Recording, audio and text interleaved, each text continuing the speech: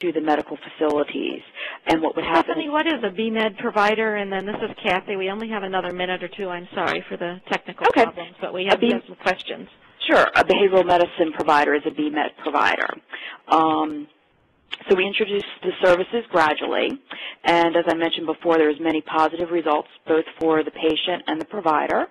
Um, that the providers experienced um, just the rewards of the immediate effect of intervention because there was something they could do with each patient. The patients found the services, they reported them to be helpful and empowering, that they left with something they could do um, that day or to think about to improve their emotional or general mental health and physical health.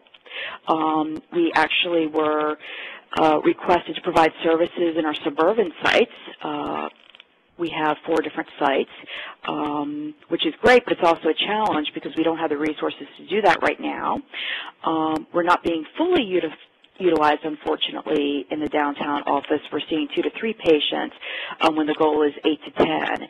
Our goal eventually is to have a, a building that houses all services, which will help us to um, lead to more fully integrated care. And that's what I have. So, Kathy, sounds like you Thank you very more. much, Stephanie. Uh, You're welcome. apologize for the, the technical problems and um, look forward to answering some questions. We do have a few questions that have been typed in, and then Alex, I'm going to take a few questions and then turn it back to you for a summary.